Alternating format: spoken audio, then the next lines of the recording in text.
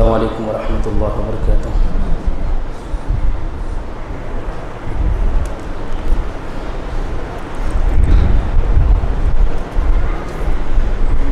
أعوذ بالله من الشيطان الرجيم.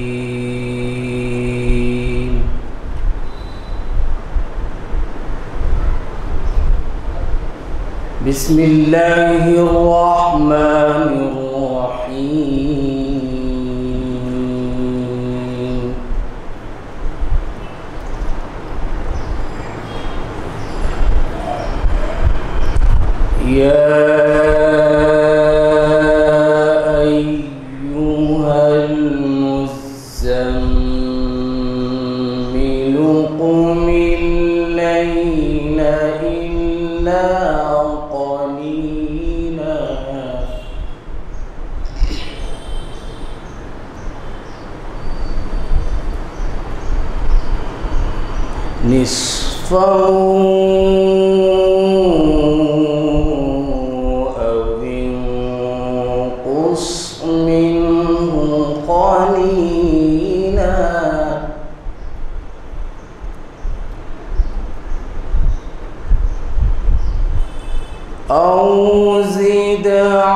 عليه ورتل القرآن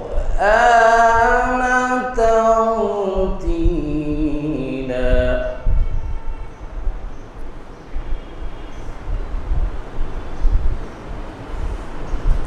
إن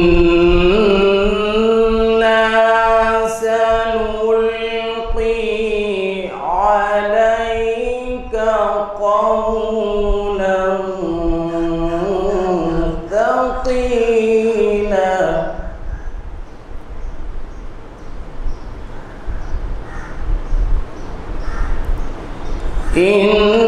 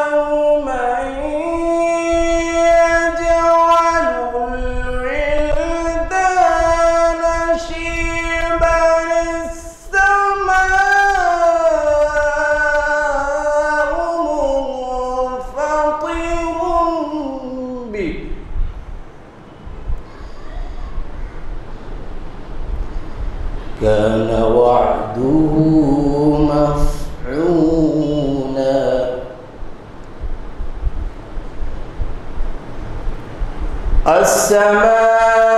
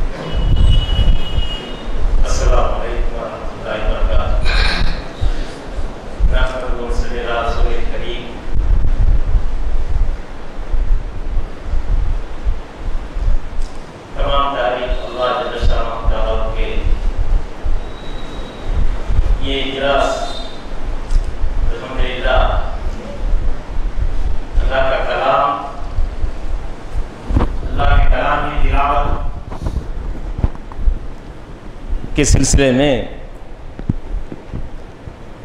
ہمارے دو فاضل شاگرد آپ کے سامنے تجوید کے قواعد اور تجوید کی اہمیت کے بارے میں انشاءاللہ درس دیں گے۔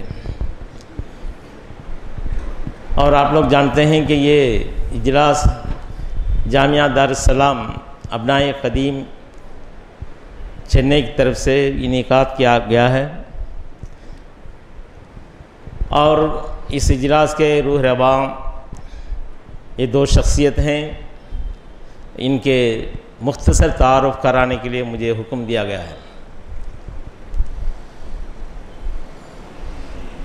یہاں جتنے لوگ آئے ہیں ماشاء اللہ حافظ القرآن ہیں ہاں، اور دینی مدارس سے فارغ ہیں۔ تو آپ لوگ جانتے ہیں کہ ہم کوئی کتاب پڑھتے ہیں، تو سب سے پہلے کتاب کے مصنف کے بارے میں جانتے ہیں۔ مصنف کے بارے میں جاننے کے بعد کتابیں شروع کرتے ہیں، سے اس کی اہمیت معلوم ہوتی ہے۔ اسی لیے یہاں یہ دونوں شخصیت کے بارے میں بہت سے لوگ نہیں جانتے ہیں، اس لیے ایک مختصر تعارف کرانا چاہتا ہوں۔ ہمارے جامعہ دارالسلام کے ایک سینئر فارغ، مولانا عبدالعزیز جامی رحمہ اللہ، ان کے بارے میں آپ لوگ جانتے نہیں ہوں گے۔ بہت بڑے عالم ہیں اور مدراس میں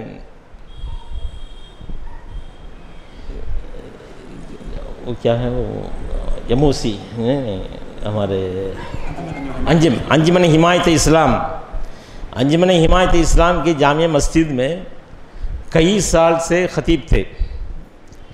ماشاء اللہ مدراس جیسے شہر میں یہاں بدعت کے یہ مرکز ہے، ایسے شہر میں وہ اپنے جمعہ میں بدعت، خلافات کے خلاف اپنی حکمت سے بیان کرتے تھے، مدراس کے بہت بڑے بڑے لوگ ان کے خطبہ سننے کے لیے دور دور سے بھی آتے تھے۔ اہل حدیث تھے، بڑے اچھے عالم۔ اور مدراس کے، اس زمانہ کے government school government arts college mount road میں استاد رہے پروفیسر رہے۔ اور یہ خطابت کا کام بھی برابر کرتے رہے۔ میں ان کا ذکر اس لیے کر رہا ہوں، ان کے پوتے ہیں یہ دونوں۔ شیخ حافظ ارشاد اللہ صاحب عمری، حافظ عبدالغنی صاحب عمری مدنی، یہ دونوں ان کے پوتے ہیں۔ یہ دونوں جامعہ دارالسلام عمر آباد ہی میں حفظ کا کام حفظ کا پورا کیا۔ اس کے بعد وہاں فارغ ہوئے۔ اور ارشاد اللہ صاحب سب سے پہلے وہاں دوحہ جو پہلی بیچ عمر آباد سے جا رہے گیا تھا، تو اس میں سب سے پہلے انہی کو وہاں سے جو شیخ آئے تھے، انہی کو انتخاب کیے۔ صرف انتخاب ہی نہیں کیے، بلکہ اپنا ساتھی رکھ لیے، اپنے دوسرے انٹرویو کے لیے، انہی کے ذریعے دوسروں سے انٹری لیے۔ اور جتنے لوگوں کو یہاں سے لے کر گئے، تو ان میں حافظ ارشاد اللہ صاحب کو پہلا درجہ۔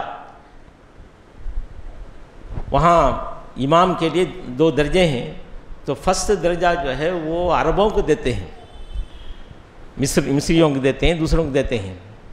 ہندوستان، پاکستان، بنگلہ دیش اور سری لنکا سے جانے والوں کو پہلا درجہ نہیں دیتے۔ ہیں لیکن حافظ ارشد اللہ صاحب کی خصوصیت ہے کہ ان کو پہلا درجہ مل گیا۔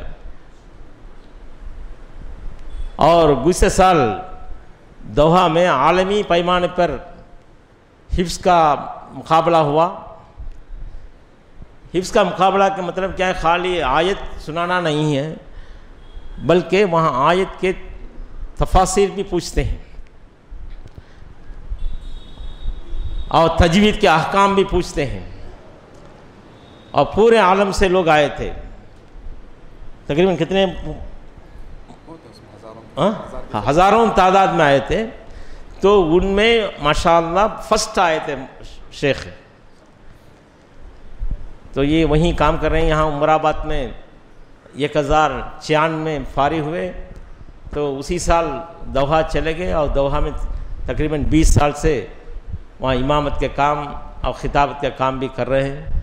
ماشاء اللہ بہت اچھی خدمت کر رہے ہیں۔ جب بھی یہاں مدراس آتے ہیں، یہاں نماز پڑھاتے ہیں اور تقریر بھی کرتے ہیں، وہ بھی ہمارا شاگرد ہیں۔ اور دوسرا جو عبد الغنی یہ بھی میرے شاگرد۔ اور ان کے متعلق میں ایک چیز بول کر مجھے فخر ہے۔ سب سے پہلے جامعہ دارالسلام میں تیسری جماعت سے قرآن ترجمہ شروع ہوتا ہے۔ پہلے دو سال نہ قرآن کا ترجمہ ہے نہ حدیث ہے، صرف عربی ہے۔ تیسری جماعت سے وہاں قرآن کا درس شروع ہوتا ہے۔ تو تیسرا سال وہ میرے میرے پاس ہی وہ درس، قرآن کا درس پڑھے۔ آخر کے دو پارے میرے پاس پڑھے تھے۔ آج وہ تفسیر میں دکتورہ کر رہے ہیں۔ تو یہ سن کر مجھے بہت خوشی ہوئی۔ میرے پاس قرآن کا جو شروع کیے تھے، ترجمہ شروع کیا، آج دکتورہ کر رہے ہیں اسی فنڈ میں۔ ماشاء اللہ وہ سن کر بہت خوشی ہوئی اور میں دعا بھی کرتا ہوں۔ انشاءاللہ آپ بھی دعا کریں گے۔ آپ کے کوشش اللہ تعالیٰ پوری طرح کامیاب کریں یہ دونوں شخصیت میں زیادہ وقت لینا نہیں چاہتا ہوں۔ بہت سے باتیں بولنے کی ہے لیکن مختصر طور پر میں یہ سنا دے کہ دونوں شخص آپ کے پاس سامنے آئے ہیں اور قرآن کے تلاوت کے بارے میں انشاءاللہ پوری طرح ہم کو بیان کریں گے، ہم بھی فائدہ اٹھائیں گے۔ اللہ تعالیٰ ان دونوں کو اور ان کے علم اللہ تعالیٰ اور بھی بڑھائے اور ان کی دینی خدمت بھی اور اللہ تعالیٰ زیادہ کرے اللہ تعالیٰ ان کی صحت کے ساتھ ان کو رکھے خدمت کرنے کی اللہ تعالیٰ توفیق عطا فرمائے اور یہ کوشش کو اللہ تعالیٰ قبول فرمائے باخر دعوان الحمد للہ رب العالمین السلام علیکم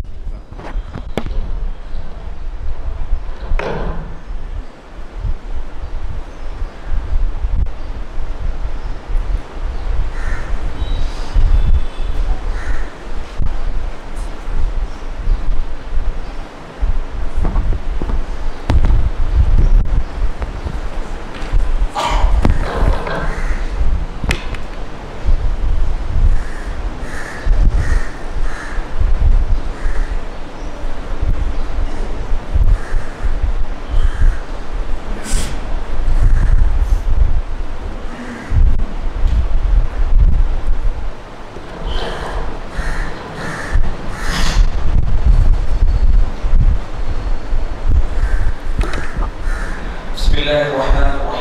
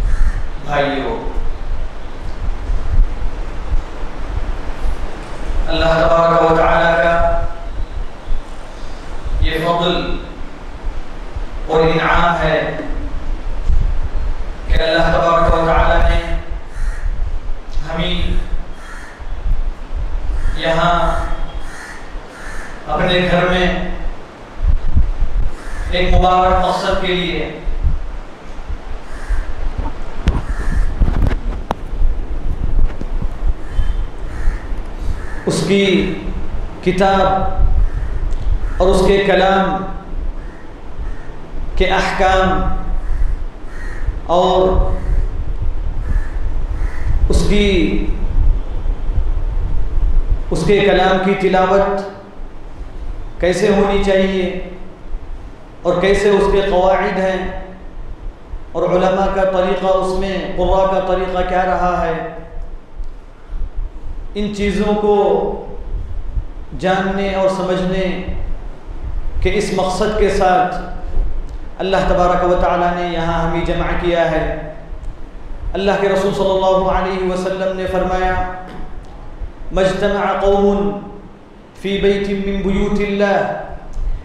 يتلون كتاب الله ويتدارسونه بينهم إلا نزلت عليهم السكينة وغشيتهم الرحمة وحفتهم الملائكة وذكرهم الله في من عنده. میں اللہ تبارک و تعالیٰ سے دعا کرتا ہوں کہ اللہ تبارک و تعالیٰ ہم تمام کو اس فضل میں شامل فرمائے اور اللہ تبارک و تعالیٰ ہمیں اس اس حدیث کا مصداق بنائے اور اللہ تبارک و تعالیٰ اپنی خاص عنایت اور خاص رحمت میں ہمیں شامل فرمائے۔ اور پھر اس کے بعد میں جمعیت ابنائے قدیم، شاخ مدراس کا بے انتہا شکر ادا کرتا ہوں کہ انہوں نے اس پروگرام کے لیے اور اس میں جمع کرنے کے لیے انہوں نے جو کوششیں کی ہیں اور جو محنتیں کی ہیں اللہ تبارک و تعالیٰ انہیں اس کے اس کا جزائے خیر دے۔ اور اللہ تبارک و تعالیٰ انہیں مزید توفیق عنایت فرمائے کہ وہ آئندہ اس قسم کے پروگراموں کا انعقاد کرتے رہیں۔ اور پھر اس کے بعد میں ہمارے شیخ اور استاد محترم فضیلت الشیخ محی الدین صاحب عمری مدنی حفظ اللہ کا میں شکر ادا کرتا ہوں کہ انہوں نے جبکہ ہم دونوں ان کے شاگرد ہیں اور ان کے پاس ہم نے علم حاصل کیا ہے، اس کے باوجود شیخ نے یعنی اپنے شاگردوں کا اور اپنے یعنی ان لوگوں کا جنہوں نے ان کے پاس علم حاصل کیا ہے، شیخ نے تعارف کروایا۔ جبکہ مطلب یہی کافی ہے کہ ہم شیخ کے شاگرد ہیں، یہی کافی تھا۔ مگر شیخ نے اللہ آپ کو جزائے خیر دے کہ یعنی ہم کو یعنی آپ کے کلمات، جبکہ آپ جو ہے ہمارے شیخ ہیں، تو یعنی ہم کو یعنی یہ مناسب نہیں لگا کہ شیخ کی زبان سے جو ہے ہمارا تعارف ہو، مگر شیخ جو ہے، ہمارے استاد ہیں اور ہمارے مربی ہیں۔ اللہ تبارک و تعالیٰ شیخ کی خدمات کو قبول فرمائے اور اللہ تبارک و تعالیٰ نے، اللہ تبارک و تعالیٰ شیخ کے جو بھی خدمات ہیں جامع السلام میں اور دوسرے دیگر مقامات میں، اللہ تبارک و تعالیٰ آپ کی خدمات کو قبول فرمائے اور اللہ تبارک و تعالیٰ آپ کو صحت و عافیت دے اور اللہ تبارک و تعالیٰ آپ کی عمر میں برکت عطا فرمائے۔ آمین۔ اور پھر اس کے بعد میں ہمارے شیخ محترم حافظ محمد ارشاد اللہ، صاحب کا بھی میں شکر ادا کرتا ہوں کہ آپ نے اس دورے میں شرکت کے لیے جیسے ہی آپ سے یہ طلب کیا گیا تو آپ نے فوراً اس کو قبول کیا اور آپ نے اس پروگرام کے لیے کافی ہمت افزائی کی اور آپ نے اس کے لیے مکمل رہنمائی کی۔ اللہ تبارک و تعالیٰ اس پر بھی آپ کو جزائے خیر دے اور اللہ تبارک و تعالیٰ آپ کی خدمات کو قبول فرمائے۔ آمین۔ اور پھر میں اسی طرح آپ تمام حاضرین کا، آپ تمام فضلاء کا میں شکر گزار ہوں کہ آپ لوگوں نے اس پروگرام میں شرکت فرمائی۔ اللہ تبارک و تعالی آپ کو جزائے خیر دے۔ اللہ تبارک و تعالی آپ کے یہاں آنے کو اور جانے کو اور سننے سنانے کو اللہ تبارک و تعالی قبول فرمائے۔ اور اللہ تبارک و تعالی اس کا اجر ہم تمام کے میزان حسنات میں رکھیں۔ آمین۔ اب اس کے بعد یہ جو ہمارا پروگرام ہے، یہ اللہ تبارک و تعالیٰ کی کتاب اور اس کے کلام کی تلاوت سے متعلق ہے، جو کہ ایک عظیم مسلمانوں کے مقاصد میں سے ایک مقصد ہے اور جس کے لیے اللہ تبارک و تعالیٰ نے اپنے اس کلام کو نازل فرمایا ہے۔ تو یہ جو آپ کے سامنے مذکرہ اس دورے کے لیے رکھا گیا ہے تو اس کے اندر بعض چیزیں جمع کی گئی ہیں، جس کے اندر سب سے پہلے علم التجوید کی طرف ایک مدخل ہے، جس کے اندر فضل القرآن الکریم اور اس کے علاوہ فضل تلاوت القرآن الکریم اور پھر اس کے علاوہ اہمیت تعلیم القرآن الکریم اہمیت تعلم القرآن الکریم و تعلیم. اور پھر اسی طرح آداب تلاوت القرآن الکریم واستماعی یہ تمام چیزیں آپ کے سامنے اس مذکرے کے اندر بیان کی گئی ہیں. اور پھر آخر میں جو اس اس دورے کا اور اس پروگرام کا خلاصہ ہے جو کہ اللہ تبارک و تعالیٰ کی کے کلام کی تلاوت کیسے ہونی چاہیے؟ اور علماء کرام نے اور قرآن نے اور ائمت القرآن نے اس کا کیسے منہج بیان کیا ہے؟ تو اس سلسلے میں امام ابن الجزری محمد ابن محمد ابن الجزری رحمہ اللہ تعالی تو ان کا جو مشہور منظومہ ہے، جو المقدمہ فیما یجب علی قاری القرآن ان یعلمہ جو ان کا مشہور منظومہ اور مقدمہ ہے، اس اس سے مخارج الحروف اور صفات الحروف کے تعلق سے اس منظومے کے ابیات جمع کیے گئے ہیں۔ اور اس کے بعد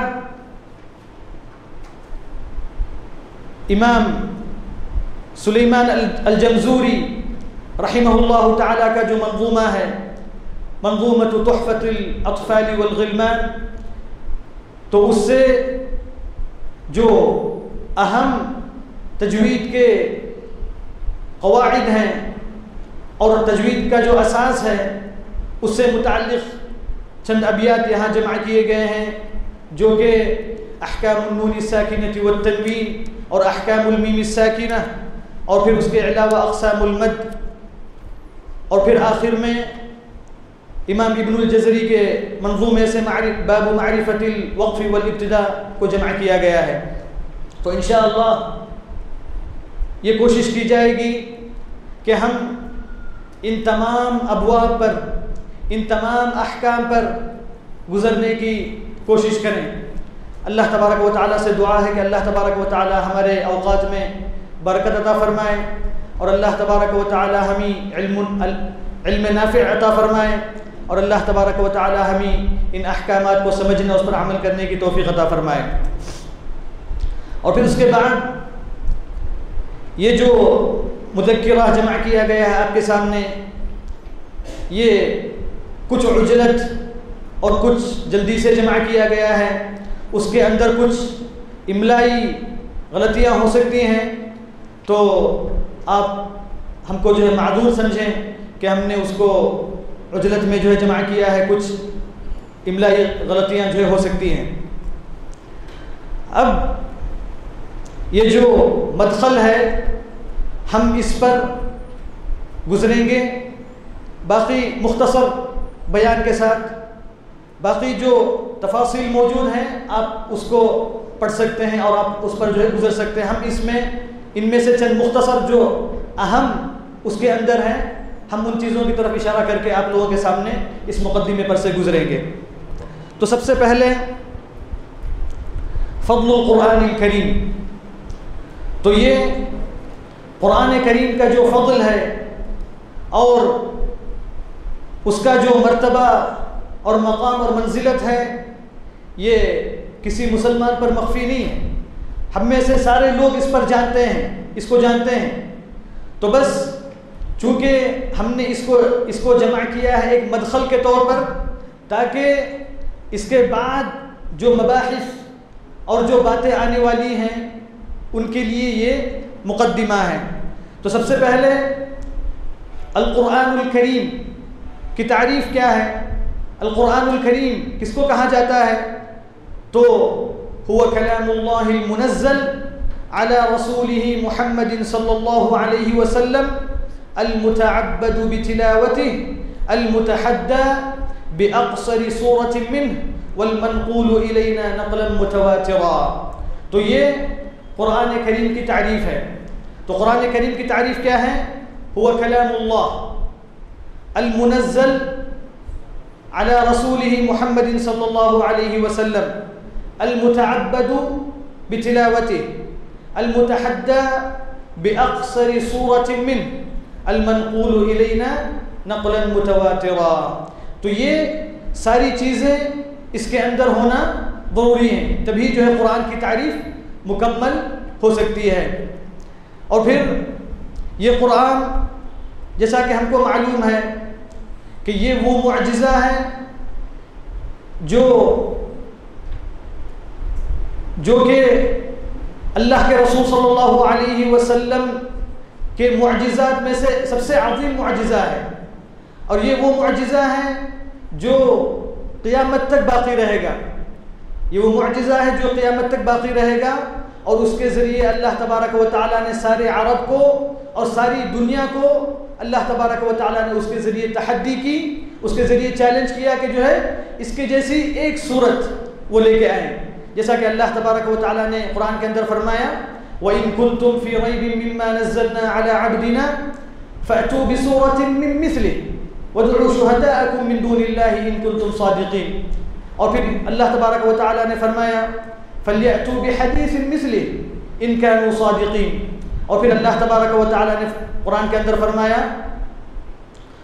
قل لئن اجتمعت الإنس والجن على أن يأتوا بمثل هذا القرآن لا يأتون بمثله ولو كان بعضهم لبعض ظهيرا تو یہ وہ کلام ہے جو حقیقت میں اللہ تبار، اللہ اللہ کے رسول صلی اللہ علیہ وسلم کے عظیم معجزات میں ایک معجزات ہے، معجزہ ہے جو قیامت تک باقی رہنے والا ہے۔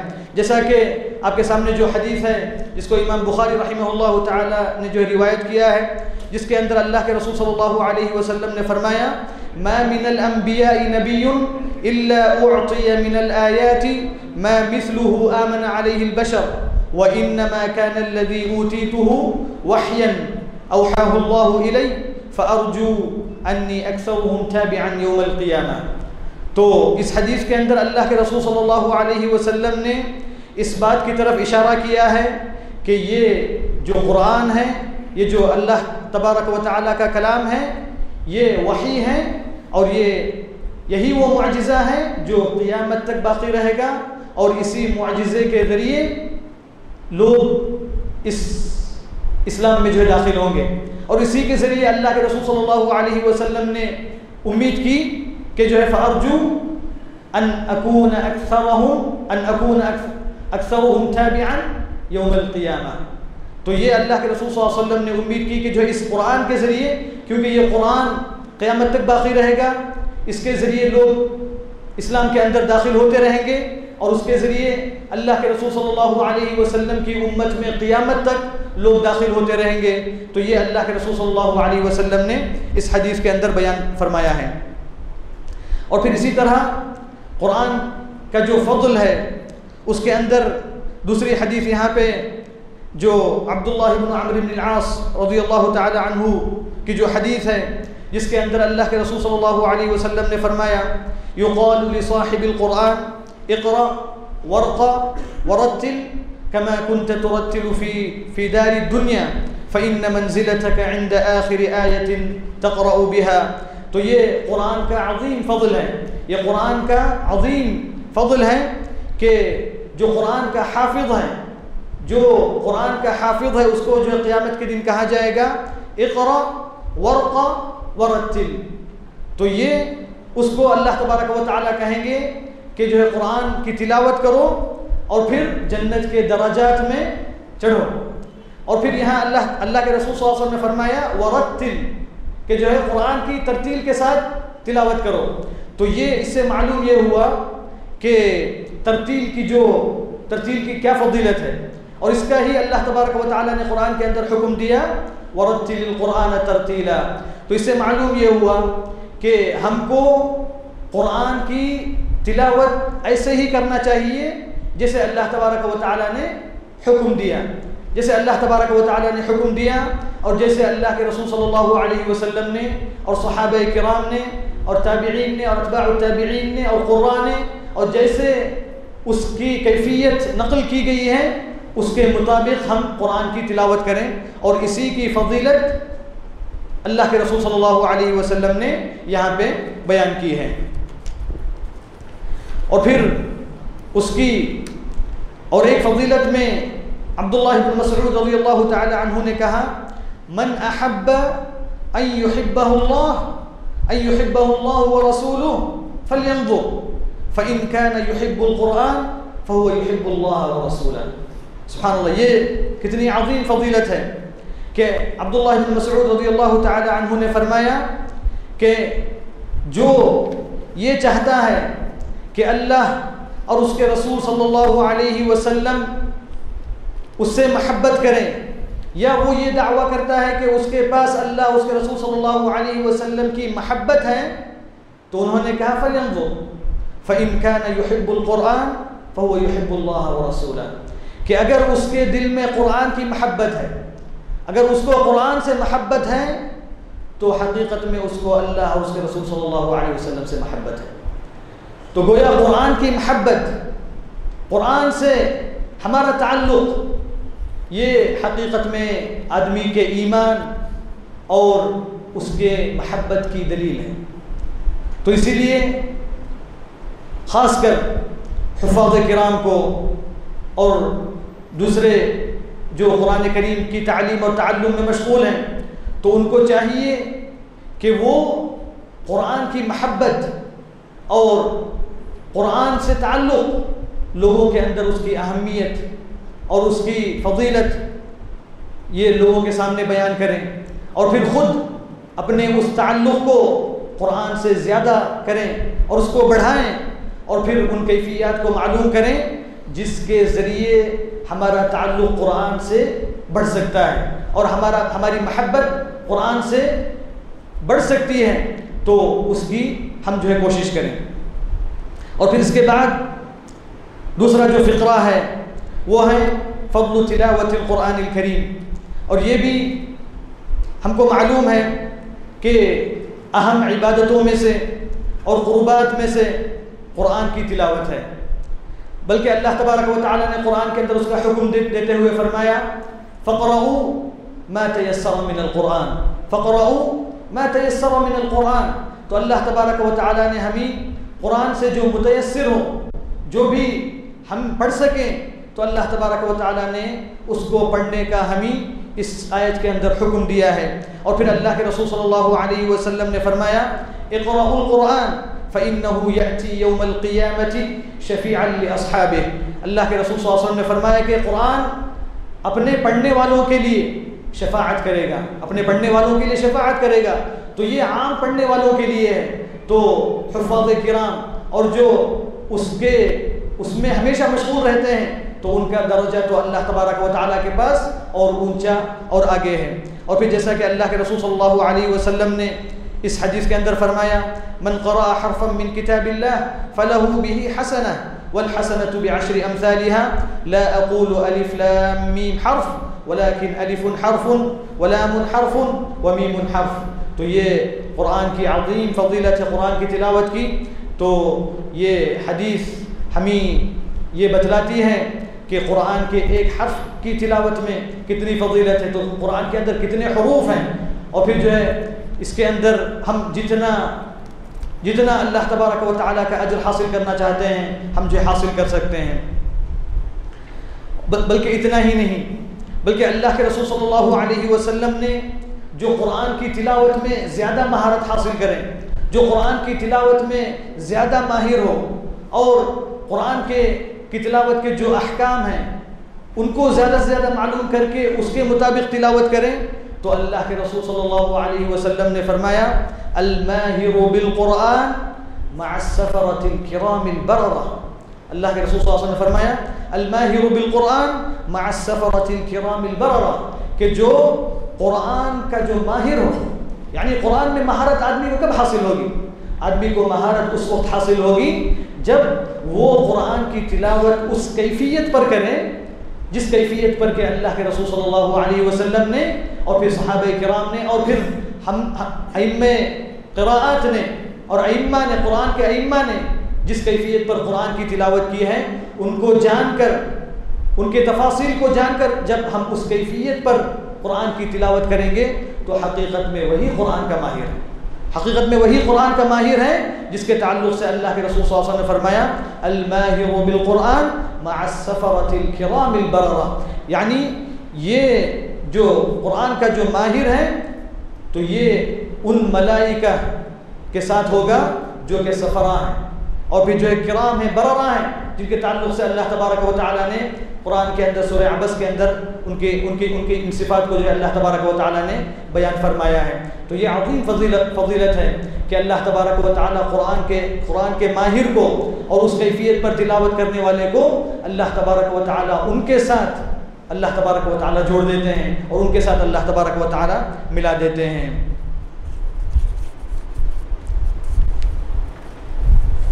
اس کے بعد اہمیت تعلم القرآن الکریم و تعلیمی یعنی قرآن کریم کی، قرآن کریم کو سیکھنے اور سکھانے کی فضیلت اور اس کی اہمیت۔ یہ تمام فقرات ہم بخوبی جانتے ہیں اور پھر جیسا کہ ہم کو معلوم ہے کہ قرآن کریم کی تعلیم، قرآن کریم کا سکھانا یہ فرض کفایہ۔ ہے اور پھر اسی طرح اس کا حفظ، اس کو یاد کرنا، یہ بھی واجب کفائی ہے۔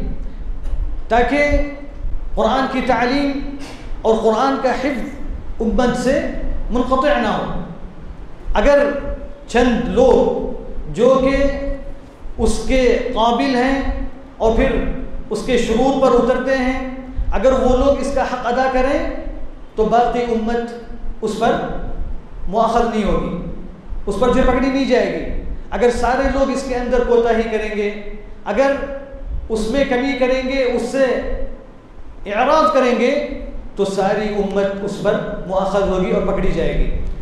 تو اب یہ قرآن کریم کی جو تعلیم اور تعلم ہے، اس کا حفظ ہے، تو اس میں ضروری ہے کہ وہ اس کیفیت اور اس حیت پر ہو جس پر اللہ کے رسول صلی اللہ علیہ وسلم نے امت کو چھوڑا ہے۔ اور جس کیفیت پر کے صحابہ کرام اس پر تھے۔ اور جیسا کہ اللہ تبارک و تعالیٰ نے اس کتاب کو، اس قرآن کو جو نازل فرمایا۔ تو یہ کیفیت اور یہ حیت مطلوب ہے۔ ورنہ عمومی حفظ اور پھر جو ہے عام قرآن کی تعلیم یہ مطلوب نہیں ہے۔ بلکہ مطلوب یہ ہے کہ قرآن کی تعلیم اور اس کا تعلم اور اس کا حفظ اس کیفیت اور اس حیت پر ہو جس پر اور جس کے ساتھ کہ اللہ تبارک و تعالیٰ نے اس کتاب کو نازل فرمایا اور جس کیفیت پر کہ جبریل علیہ السلاۃ والسلام نے اللہ کے رسول صلی اللہ علیہ وسلم کو سکھایا اور جو کیفیت کے اللہ کے رسول صلی اللہ علیہ وسلم نے صحابہ کو سکھایا، تو اسی طرح امت کے اندر جو سلسلہ چلتا رہا، وہ کیفیت اس سے مراد ہے۔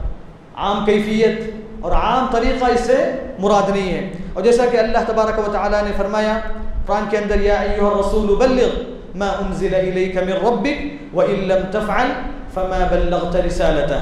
تو بلغ ما انزل الیک من ربک تو اس کے اندر جو حکم اللہ تبارک و تعالیٰ نے اللہ کے رسول صلی اللہ علیہ وسلم کو دیا ہے، تو یہ صرف اس کے حروف اور اس کے الفاظ مراد ہی نہیں ہیں بلکہ اس سے مراد وہ کیفیت اور وہ طریقہ اور وہ ادا بھی ہے جس پر کہ اللہ تبارک و تعالیٰ نے اس کلام کو نازل فرمایا ہے۔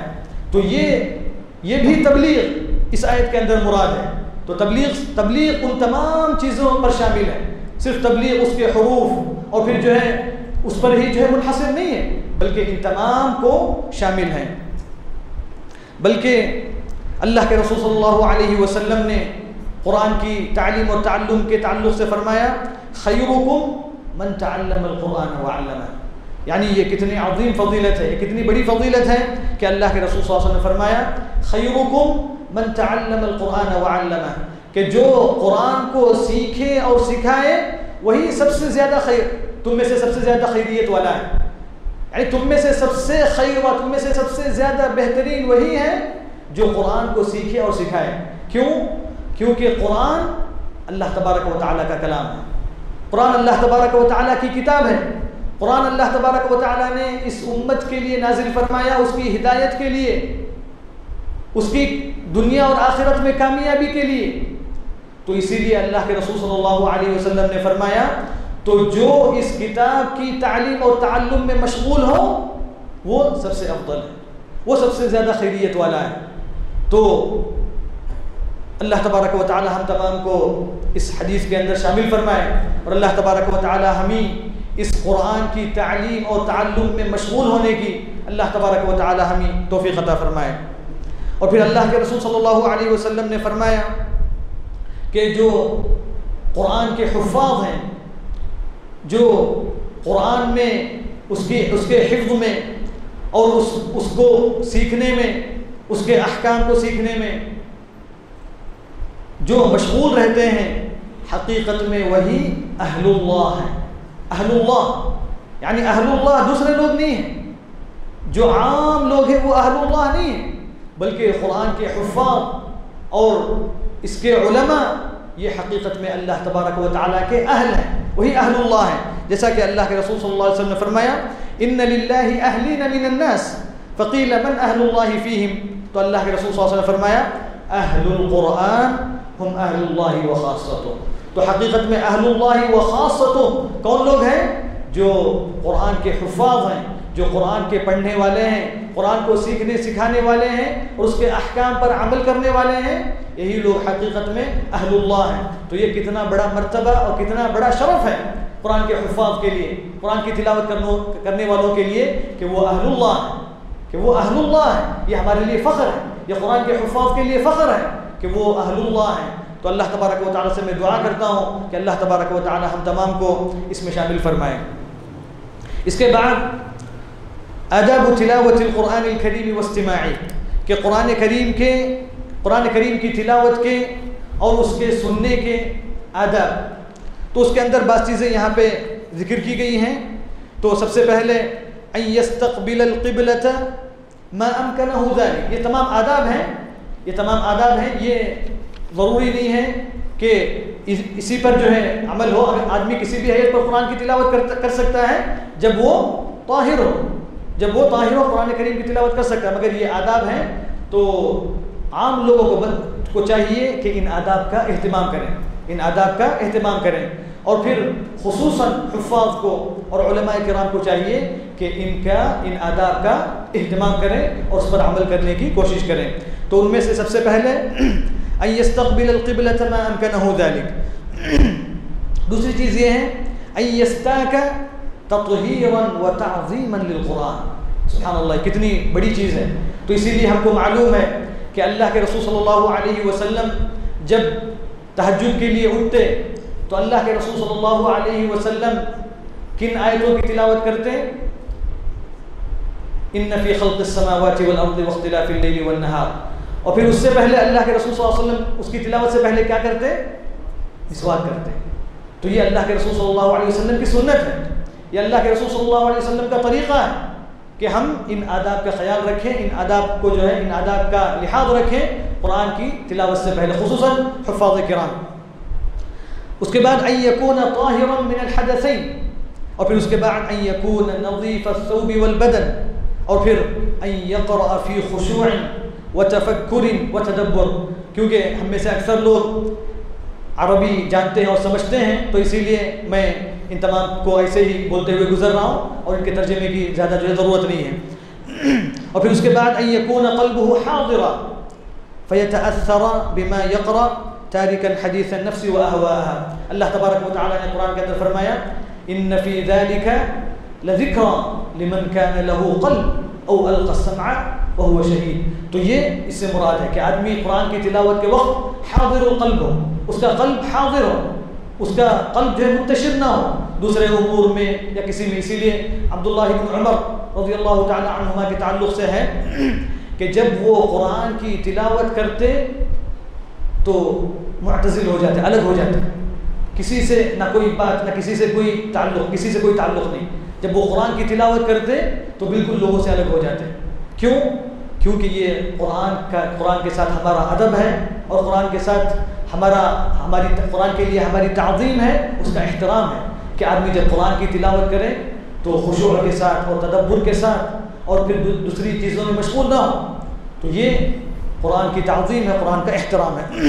اور پھر اسی طرح يستحب له ان يبكي مع القراءه فان لم يبكي يتباكى کہ قرآن کی تلاوت کے وقت آدمی پر، آدمی کو چاہیے کہ اس پر جو خشوع طاری ہو۔ یعنی یہ خشوع سے مراد خشوع حقیقی ہے، خشوع تکلفی نہیں ہے۔ یعنی آدمی کوشش کرے کہ قرآن کو سمجھنے کی کوشش کرے، قرآن میں تدبر کرے۔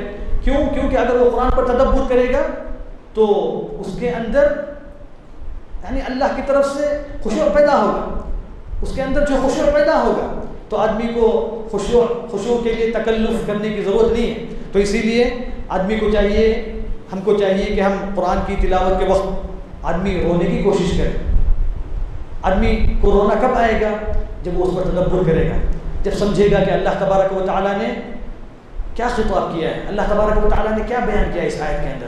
اللہ تبارک و تعالیٰ کیا بیان کرنا چاہتے ہیں؟ تو اس اس سے جو ہے ہمارے دل کے اندر خشوع اور پیدا ہو سکتا ہے اور پھر رو رونے کی کیفیت بھی تاریخ ہو سکتی ہے۔ اور پھر ایک اہم چیز یہ کہ ان قراءته ويحسن صوته بها کہ قرآن کی تلاوت میں قرآن کی تلاوت کے وقت اپنی آواز کو اچھی کرے، اپنی آواز کو مزین کرے۔ کیوں؟ کیونکہ اللہ کے رسول صلی اللہ علیہ وسلم نے اس کا حکم دیا ہے۔ اس کا حکم دیا ہے۔ تو اسی لیے ہم کو چاہیے کہ ہم قرآن کی تلاوت کے وقت اچھے آواز، اچھی آواز میں، اچھے انداز میں اس کیفیت میں پڑھنے کی کوشش کریں، جس سے ہم پر اور دوسروں پر ایک سکینت اور ایک خشوع طاری ہو۔ اور پھر اس کے اندر تکلف نہ ہو۔ یعنی یہ تمام چیزیں چاہیے کہ اس کے اندر کسی قسم کا تکلف نہ ہو۔ اس اس میں جو کسی قسم کا تکلف نہ ہو، بلکہ یہ تمام چیزیں دل سے آدمی کے اندر پیدا ہوں دل سے یہ تمام چیزیں ہونا چاہیے اور پھر أن يتأدب عند تلاوة القرآن الكريم فلا يضحك ولا يعبث ولا ينظر إلى ما يلهي بل يتدبر ويتذكر كما قال سبحانه وتعالى كتاب أنزلناه إليك مبارك ليدبروا آياته وليتذكر أولو الألباب تو یہ تمام جو قرآن کے آداب ہیں، قرآن کی کی تلاوت کرنے والے کے لیے۔ اسی طرح قرآن کے جو سننے والے ہیں، قرآن جب پڑھا جاتا ہے، جب قرآن کی تلاوت کی جاتی ہے، تو اس کو غور سے سننے کا بھی اللہ تبارک و تعالیٰ نے ہمیں حکم دیا ہے۔ اللہ تبارک و تعالیٰ نے کہا، وَإِذَا قُرِئَ الْقُرْآنُ فَاسْتَمِعُوا لَهُ وَأَنصِتُوا لَعَلَّكُمْ تُرْحَمُونَ۔ تو قرآن کی تلاوت کے وقت استماع اور انصات دونوں چیزیں ہونا چاہیے۔ یعنی آدمی منصت بھی ہو اور مستمع بھی ہو۔ تو یہ دو، یہ دونوں چیزیں ہونا چاہیے۔ کیونکہ اللہ تبارک و تعالیٰ نے فرمایا، لعلکم ترحمون۔ یعنی اس سے اللہ تبارک و تعالیٰ کی رحمت ہم پر نازل ہوگی۔ اللہ تبارک و تعالیٰ کی رحمت کے ہم مستحق ہوں گے۔ تو یہ قرآن کی تلاوت کے وقت اس کو غور سے سننا اور خاموش رہنا، یہ اللہ تبارک و تعالیٰ کی رحمت نازل کرتا ہے۔ تو اسی لیے ہم کو چاہیے کہ ہم قرآن کی تلاوت کے وقت ان آداب کا لحاظ رکھیں اور پھر اس طرح سنتے وقت ان اس ان چیزوں کا خیال رکھیں۔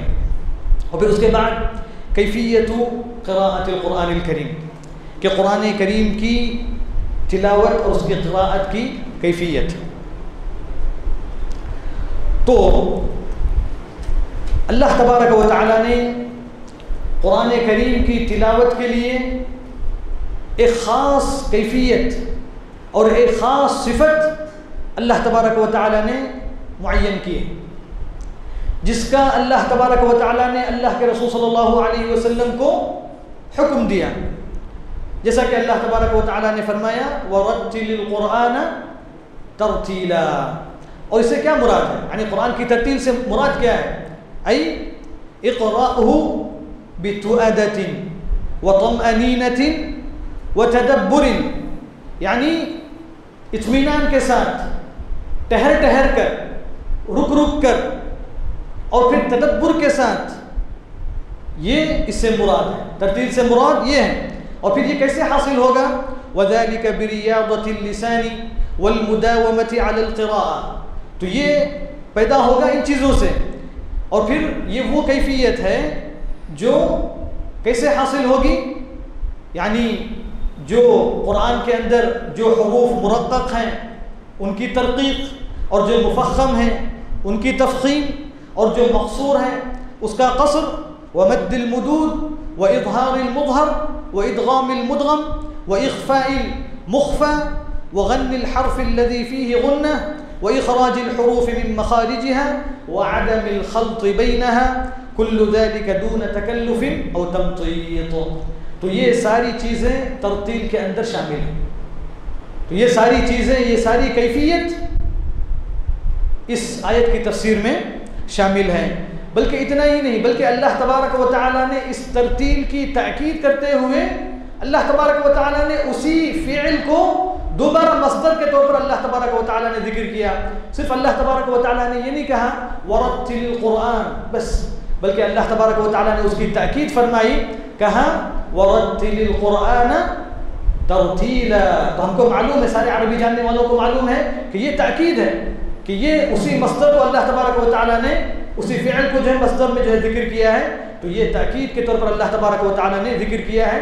تو اس سے ہم کو معلوم ہوتا ہے کہ قرآن کی ترتیل کی جو اہمیت ہے اور پھر اس کا جو مقام ہے اور اس کی جو کیفیت ہے، وہ ایک خاص ہے۔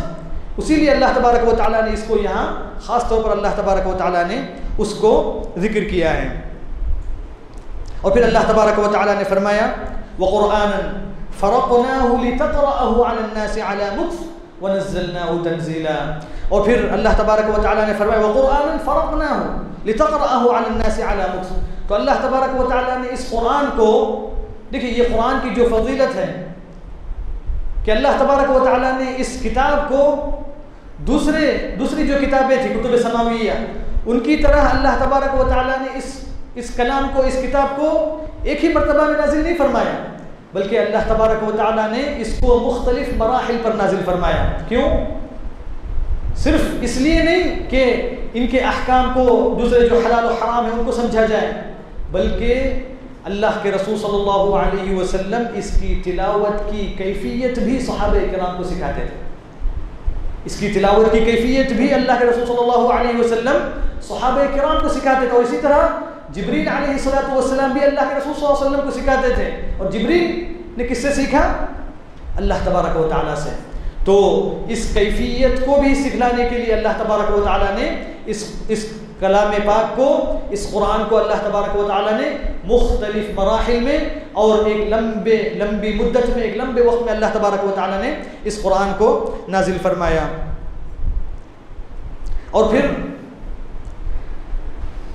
اللہ کے رسول صلی اللہ علیہ وسلم نے فرمایا کہ انس رضی اللہ تعالی عنہ سے پوچھا گیا کیف کانت قراءت النبی صلی اللہ علیہ وسلم کہ اللہ کے رسول صلی اللہ علیہ وسلم کی تلاوت کیسے تھی کیسے اللہ کے رسول صلی اللہ علیہ وسلم کی قرآن کی جو ہے تلاوت ہوا کرتی تھی تو اللہ کے رسول صلی اللہ تو انس ابن مالک رضی اللہ تعالی عنہ نے فرمایا کانت قراءته مدہ ثم قرآ بسم الله الرحمن الرحيم يمد ببسم الله ويمد بالرحمن ويمد بالرحيم يعني اس کی اللہ کے رسول صلی اللہ علیہ وسلم مد کے ساتھ تلاوت فرماتے تھے یعنی مد سے مراد یہ ہے کہ اللہ کے رسول صلی اللہ علیہ وسلم ٹہر ٹہر کر اور پھر ان حروف کے جو حق ہیں ان کی ادائیگی کے ساتھ اللہ کے رسول صلی اللہ علیہ وسلم اس کی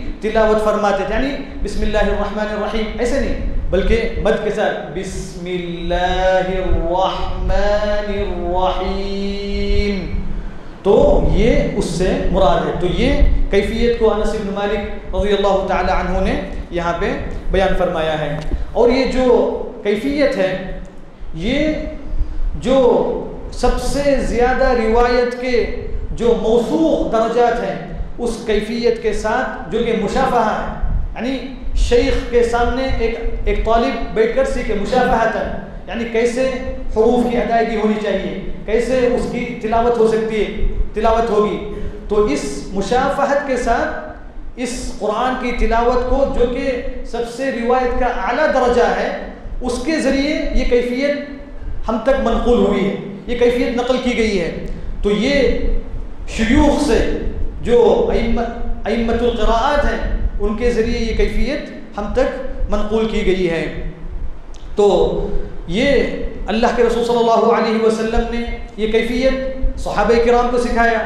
اور جیسا کہ اللہ کے رسول صلی اللہ علیہ وسلم نے جبریل علیہ السلاۃ والسلام سے سیکھا۔ اور ہم کو معلوم ہے کہ اللہ کے رسول صلی اللہ علیہ وسلم پر جب وحی نازل ہوتی شروع میں، تو اللہ کے رسول صلی اللہ علیہ وسلم اس کو سیکھنے کے لیے اپنے ہونٹوں کو تیزی کے ساتھ ہلاتے تو اللہ تب، اللہ تبارک و تعالیٰ نے فرمایا ان علینا جمعه وقرآنا فإذا قرأناه فاتبع قرآنا ثم ان علینا بیانا تو اس کی کیفیت، قرآن کی، قرآن کریم کی تلاوت کی کیفیت بھی اللہ کے رسول صلی اللہ علیہ وسلم کو سکھائی گئی۔ اور پھر اسی طرح اللہ کے رسول صلی اللہ علیہ وسلم کے ساتھ جبریل علیہ السلاۃ والسلام ہر رمضان میں قرآن کا مدرسہ کرتے قرآن کا مدرسہ کرتے یعنی ایک دوسرے کو سناتے تو اس میں بھی اللہ کے رسول صلی اللہ علیہ وسلم وہ خاص کیفیت کو معلوم کرتے جو کہ قرآن کی تلاوت کی ہے۔ اور پھر اللہ کے رسول صلی اللہ علیہ وسلم وہی کیفیت صحابہ کرام کو سکھاتے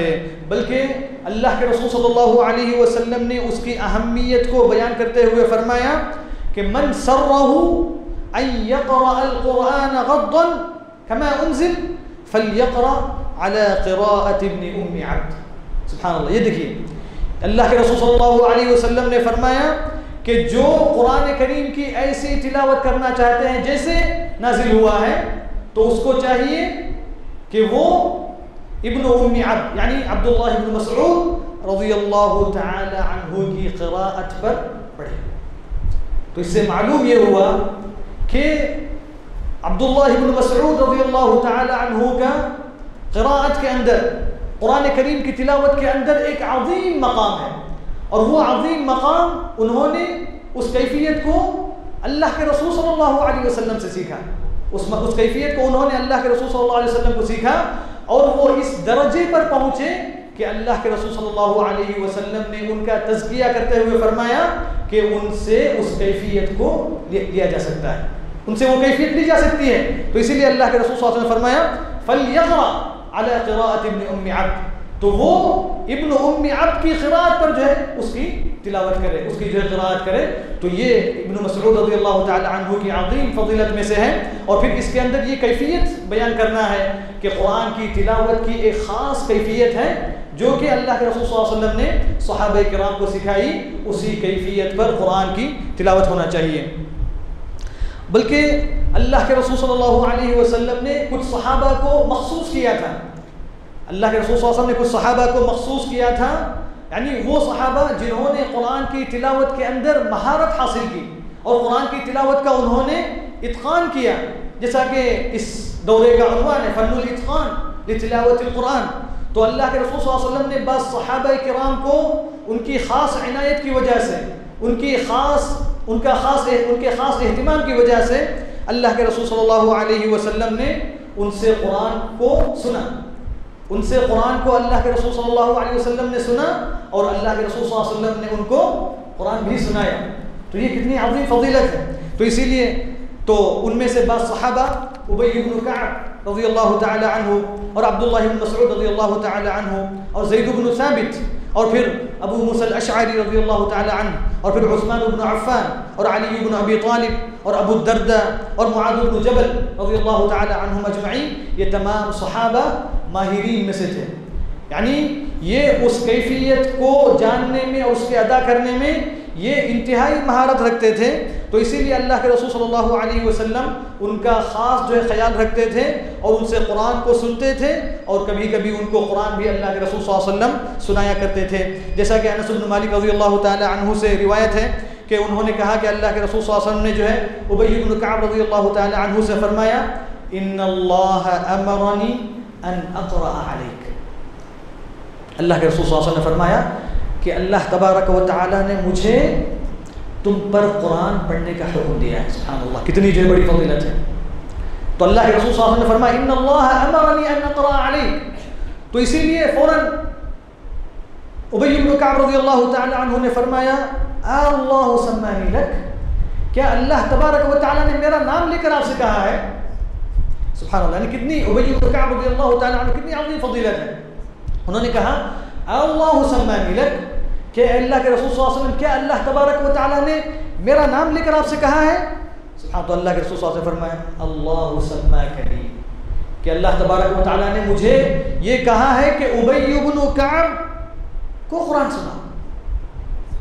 تو اس سے جو ہے معلوم ہوا کہ جو یہ صحابہ کرام کی کتنی جو ہے عظیم فضیلت ہے اور اس قرآن کے ادا کرنے کی خاص کیفیت ہے۔ اسی لیے اللہ کے رسول صلی اللہ علیہ وسلم نے صحابہ کرام کو قرآن سنایا تاکہ وہ کیفیت کو جاننے میں اور اس کو حاصل کرنے میں ان کے اندر اور مہارت حاصل ہو۔ تاکہ اللہ کے رسول صلی اللہ علیہ وسلم اس کیفیت پر تلاوت کریں، جس کیفیت پر کہ اللہ کے اللہ تبارک و تعالیٰ نے اللہ کے رسول صلی اللہ علیہ وسلم پر قرآن کو نازل فرمایا ہے۔ تو اس اس بات کو جب ابی رضی اللہ تعالیٰ عنہ نے سنا تو فجعل ابی یبکی، فجعل ابی یبکی۔ اور پھر اسی طرح عبداللہ بن مسعود رضی اللہ تعالیٰ عنہ سے روایت ہے انہوں نے کہا کہ قال لی النبی صلی اللہ علیہ وسلم اقرا علی القرآن تو عبداللہ بن مسعود رضی اللہ تعالیٰ عنہ سے اللہ کے رسول صلی اللہ علیہ وسلم فرمایا اقرا علی القرآن کہ مجھے قرآن سنائیے قلت اقرا علیک وعلیک انزل کہ آپ پر قرآن نازل ہوا ہے میں کیسے آپ کو سناؤں